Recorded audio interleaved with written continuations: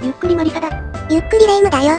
いよいよバトルロード、ピチピチギャルカテゴリの実践だな。前回の続きになってるから、まだ見ていない人は見てくれよな。バトル中の BGM は声が通りにくいから、決して別にしてあるぜ。その前に、全キャラが揃っていて、レベルも解放もマックスであれば、このようなパーティーが、一番良いと思う。必殺技封じを確実に入れながら気絶も入れつつ、また、回復や気力アップ、防御アップもあるから、だいぶ有利だな。うまくいけば、アイテムなしでクリア可能な勢いだ。ウプ主は万全な条件が揃っていないから、攻撃力に難がある。そのため、属性はそのままで、2キャラ入れ替えている。それがこのパーティーだな。では始めようか。第1戦目のここでは、敵が地属性と即属性、敵は3キャラ目には攻撃はない状態。先制攻撃が固まっているな。ここでは節約のためにマーロンを使っている。敵のステータスの基本は敵の数が多ければ1キャラ当たりの強さはそうでもない。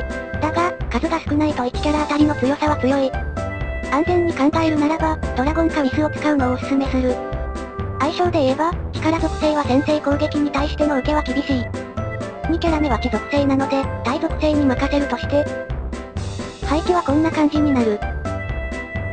まずはリーダーに気絶を入れて、次に相性を考えて地属性に攻撃。3キャラ目も同じだな。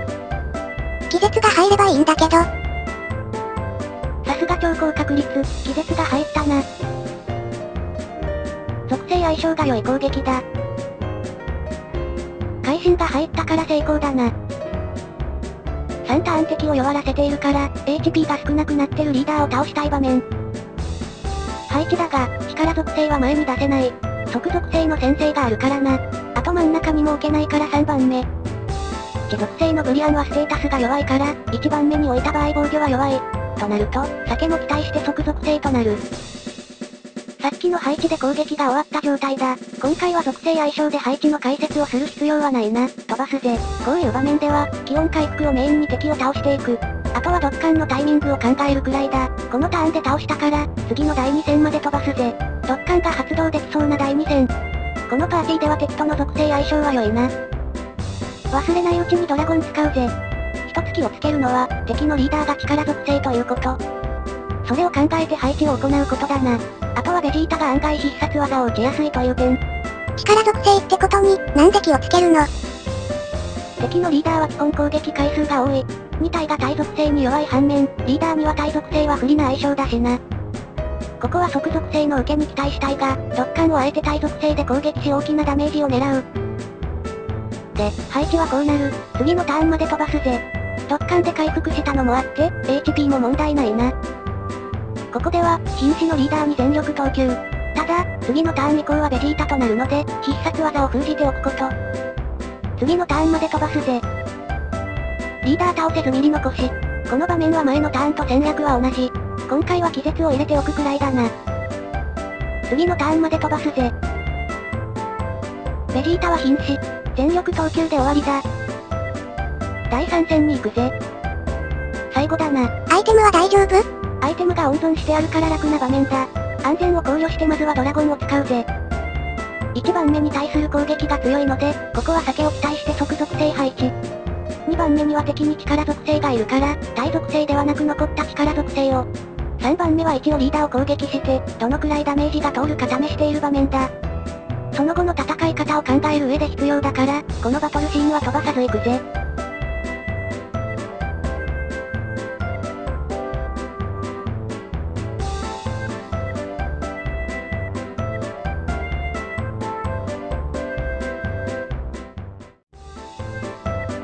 うん、硬いな。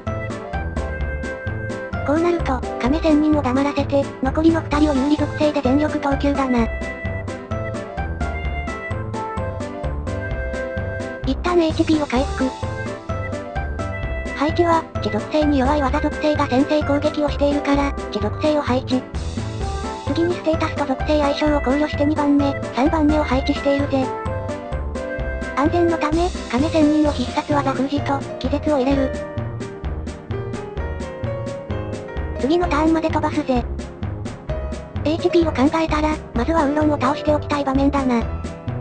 比較的1番目に対して力属性が多いから即属性を配置。ウーロンを倒すに期待して力属性で先に攻撃。